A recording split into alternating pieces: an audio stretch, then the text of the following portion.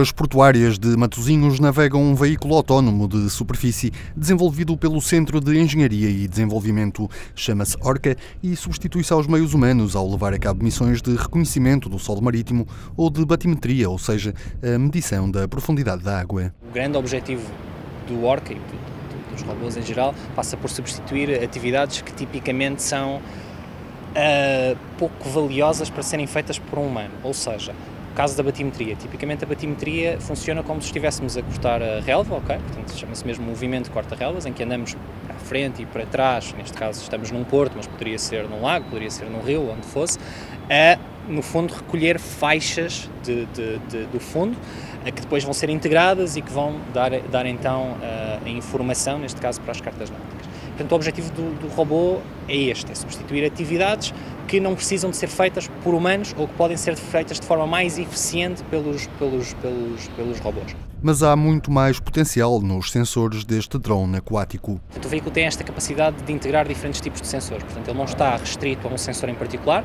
É um veículo que pode levar até 100 kg de payload, de sensores.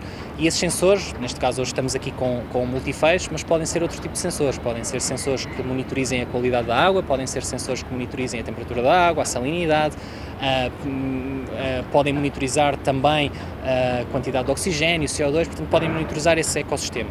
E portanto o veículo pode servir também para monitorizar a qualidade da água e para nos ajudar a partir dessa informação também a fazer algum tipo de forecast sobre a evolução dos próprios ecossistemas. O Orca está quase pronto para a comercialização, mas continua dependente da conjuntura económica internacional. Hoje estamos a viver um momento muito particular em todo o mundo, que é um momento de estrangulamento das cadeias de fornecimento uh, fruto da pandemia e fruto também do, do, do, que está a acontecer na Europa e, portanto, as dificuldades neste momento seriam sempre dificuldades ao nível do fornecimento, nomeadamente fornecimento de microprocessadores e nós sabemos que, do ponto de vista dos materiais, a inflação, tudo isso está, está, está a subir.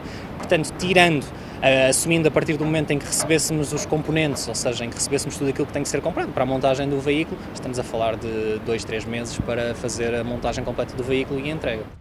Concluída a caracterização do solo marítimo das águas de Leixões, este veículo 100% elétrico vai monitorizar as águas do Rio Douro entre o Porto e Barca d'Alva, numa colaboração com a Administração dos Portos do Douro, Leixões e Viana do Castelo.